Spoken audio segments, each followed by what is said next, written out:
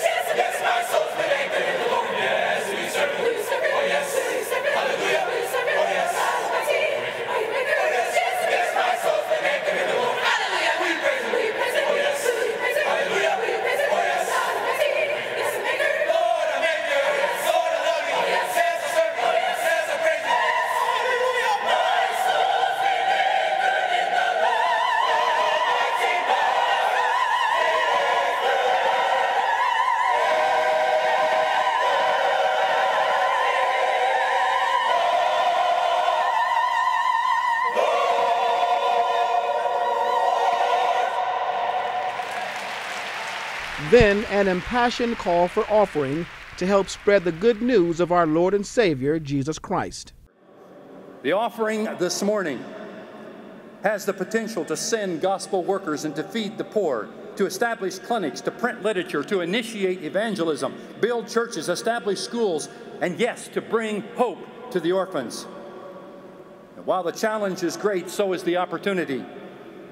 Through the power of the Holy Spirit, we can be partners with heaven, lighting a path of hope in the great unentered areas of the world.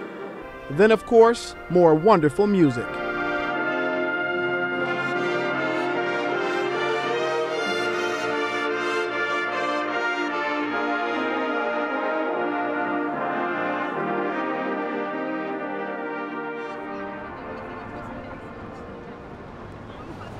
There is much anticipation on this, the first Sabbath of the General Conference of Seventh day Adventists.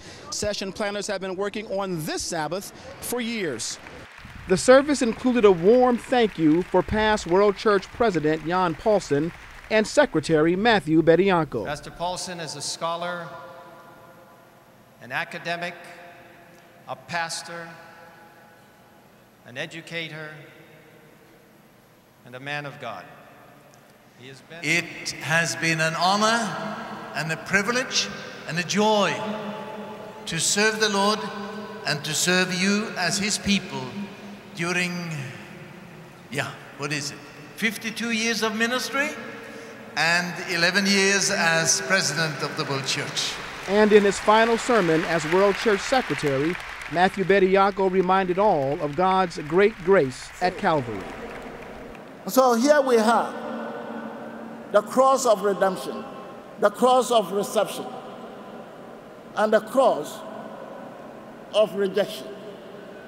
The three men hanging on, the middle man, the one on the middle cross, Jesus' cross, was a dying Savior.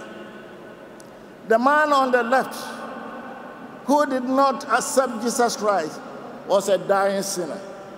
But the man on the right cross because he turned to the Savior, died a saint, the meaning sinner saved by grace.